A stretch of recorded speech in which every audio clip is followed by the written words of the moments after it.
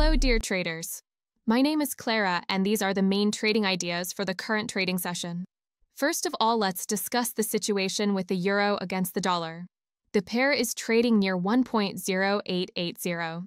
Earlier, the euro was supported by European statistics. Thus, preliminary data on the GDP of Germany and the Eurozone for the third quarter, as well as the inflation report in Germany, were presented to traders.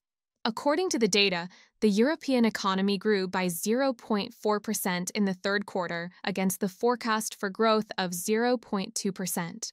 The improvement in indicators was a consequence of the growth of business optimism against the background of a steady decline in inflation and a reduction in interest rates by the European Central Bank. Meanwhile, the German economy grew by 0.2% over the same period, while analysts predicted a decline of 0.1%. Thus, Germany was able to avoid a technical recession. Today, data on the U.S. labor market, non farm payrolls will be released. If the report disappoints, the euro will continue to grow. Next, Brent.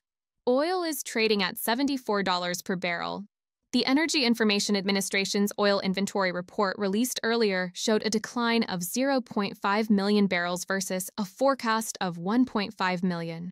Meanwhile, China's business activity grew last month, indicating that government measures to support the economy have been effective. Thus, the index for the industrial sector increased from 50 points to 50.2 points. Additional support for prices is provided by the expectation of a postponement of the increase in oil production by 180,000 barrels per day by OPEC. Given this, local growth in oil may continue. And finally, dollar against yen. The pair is consolidating near 152.50. Investors are focusing on the results of the Bank of Japan meeting, where the regulator kept the key rate at 0.25%.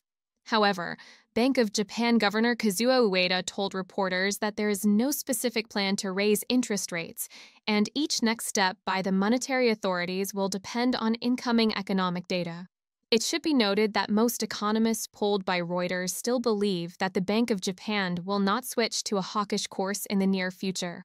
This is also supported by the ongoing political uncertainty in Japan after the Liberal Democratic Party lost the parliamentary elections. Against this background, the pair may continue to grow. So, these are the main trading ideas for now. Thank you for your attention, and don't forget to subscribe to our YouTube channel.